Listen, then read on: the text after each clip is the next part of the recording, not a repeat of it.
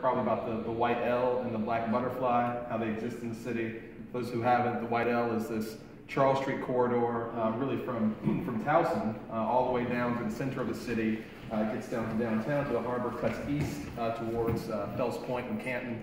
Uh, if you look at it on a census map where white people and black people in Baltimore City are distributed, you'll see all these blue dots for white people uh, concentrated along an L. It looks like an L when you see those dots. And then you see black folks uh, represented as, as red, and looks like a red butterfly when you look on a, on a census map. So within that white L, um, our neighborhood is the most diverse. It's the only majority black neighborhood in the white L. Uh, I'm the only black community association president uh, in the white L as well. As well, so we've we've got a lot of um, stuff going on, and we. One thing I recognized was just that there.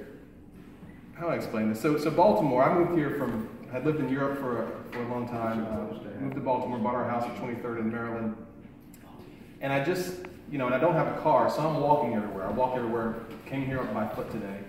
Um, and the city, when the uh, Amazon HQ2 proposal was coming out, uh, I was frustrated because I saw the city just automatically say Port Covington. Everything was about the waterfront, Port Covington. Now I knew Baltimore probably didn't have a, a shot really at getting uh, Amazon HQ2, but I said, you know what, we've got a lot of assets here in our part of the city.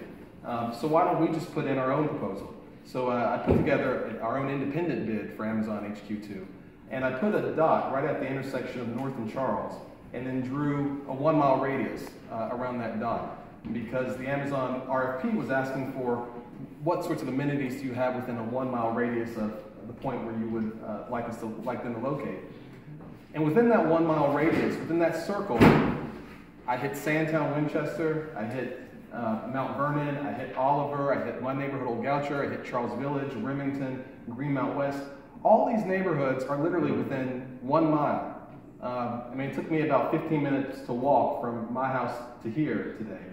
Uh, and I think it's interesting that in Baltimore, we have so much of, of this, these ideas of, of, this is my territory, this is your territory, this is my neighborhood, this is your neighborhood. Um, when the truth is, the truth is, we're, it's an incredibly compact city. Everything's very, very close to each other. All the neighborhoods are very close to each other in Baltimore. So um, I decided to start pulling together a coalition uh, of neighborhoods, uh, sort of have an informal name for it right now, the Center City Neighborhoods Alliance. Uh, and it, it, includes, you know, the neighborhoods along this Charles Street corridor, so it's Greenmount West, it's Old Goucher, it's Remington, it's Mount Vernon, uh, it's Oliver, Johnston Square. We had some folks from, from Sandtown, we had a gentleman from, from Arco uh, who was with us.